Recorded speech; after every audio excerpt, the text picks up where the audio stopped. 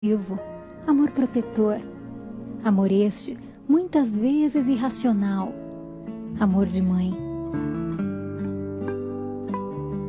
Por nove meses me carregou em seu ventre, em meio a lágrimas e sorrisos. Obrigada por me proteger, por acreditar em mim, por me amar, por me repreender, me dizer não. Obrigada, mãe, por tudo.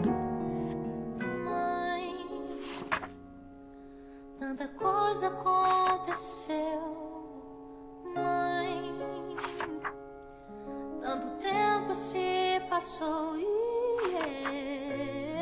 eu não sou mais um menino. Eu cresci.